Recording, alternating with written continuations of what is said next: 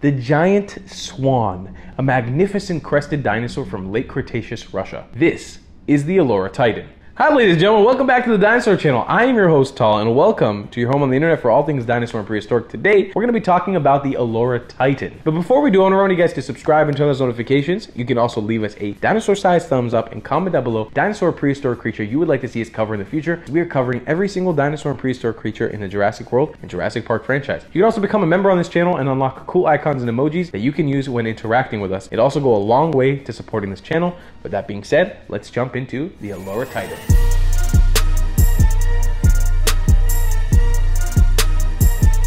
So what does Olorotitan mean? Well, it means gigantic swan, which is a reference to its long neck. Allura is the Latin word for swan and Titan means large or gigantic. Belgian paleontologist Pascal Godefroit and colleagues described and named the Olorotitan as a new species in 2003. So when and where did this animal live? The Olorotitan lived during the middle Maastrichtian age of the late Cretaceous period, around 72 to 66 million years ago, in what is now Russia. It is said to be one of the last non-avian dinosaurs, meaning it's not related to birds. The Olorotitan went extinct during the late Cretaceous Paleogene extinction event. I think it is time for a side note. The Cretaceous Paleogene extinction, also known by several names including the Cretaceous Tertiary, KT extinction, or KPG extinction, is probably the best known global extinction event ever. So it's popular for wiping out the dinosaurs, but it was a sudden mass extinction that took place about 66 million years ago, wiping out 75% of plants and animal species on the face of the earth. This event divided the Cretaceous period, which marked the end of the Mesozoic era, and the Tertiary period, which marked the beginning of the current known era as the Cenozoic era. A phenomenon known as impact winter was caused by the huge number of large asteroids hitting the Earth. The amount of dust and debris released into the atmosphere blocked the sun for days, and the plants began dying, leaving animals with no food, causing them to starve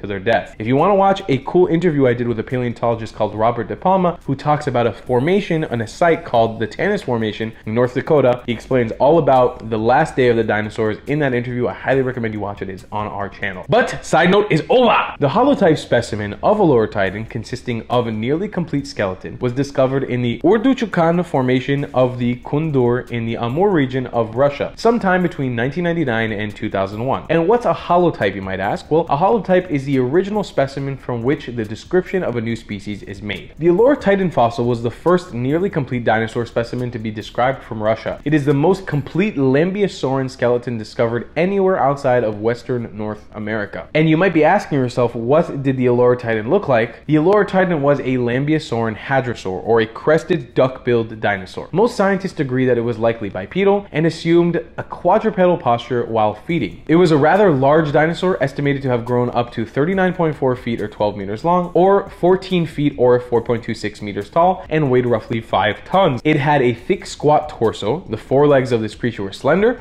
while its hind legs were muscular. It had a long and stout tail, which seemed to be rigid at the bones, and at the base of its tailbone were discovered to be fused together. The skull of the Olorotitan was similar to other hadrosaurids. It had a distinctive tall, hollow head crest that rose up from the top and back of the skull and pointed backwards, kind of shaped like a hatchet or a fan. The crest contained the extension of the nasal cavity, which led scientists to believe that it could have been a sensory organ. Some researchers also hypothesized that it could have been used for vocalization, but it's all speculation at this point for now, since the relevant portions of the crest of the Olorotitan were either fragmentary or crushed, so no one really knows the route its nasal passage took. The Olorotitan's snout was formed like a bill. Like the present day ducks, it contained hundreds of continually replaced narrow teeth or dental batteries. For the thing that gave the Olorotitan its name, this gigantic swan's neck was longer than any other Lambeosauran. Although it is not nearly as long as sauropods, it consists of 18 neck vertebrae, whereas most of its contemporaries only had about 15. With its long neck and distinct head ornament, the Olorotitan was considered as one of the most elegant dinosaurs of all time. I'm imagining a herd of Olorotitan looking like a group of ladies at a tea party. You know, with their poised stance and fancy hats? Well, let's talk about how the Olorotitan got famous. It didn't. There's not much mention of this dinosaur in popular culture. It did appear in the Japanese version of Sega card-based arcade arcade game Dinosaur King, which was awesome. And in the Jurassic universe, you can find the Olorotitan in the Dinosaur Park Simulation game Jurassic World Evolution via the Secrets of Dr. Wu downloadable content pack. It's also been featured in Jurassic World Evolution 2, and of course, it was most popularly featured recently in Apple TV Plus's new series, Prehistoric Planet, where you see